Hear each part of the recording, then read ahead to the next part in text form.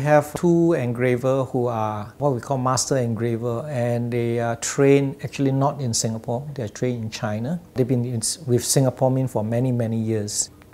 From my understanding how they are trained, they are skilled in every aspect. Besides engraving, they can do sculpting.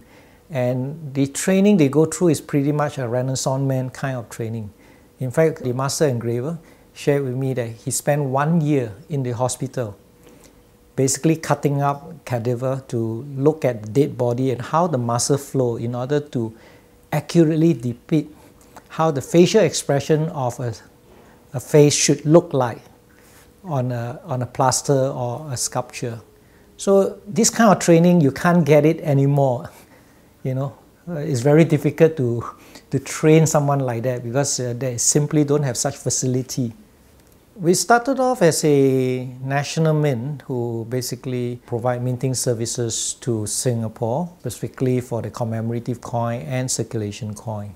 Over the years, Singapore Mint has also transformed and there is a need for us to expand our scope to the region. Been invited by countries such as Bhutan, Cambodia, uh, New Zealand, and uh, also Thailand, uh, predominantly in the commemorative coin area where they like the, the quality and the finishing of the coin that we can provide.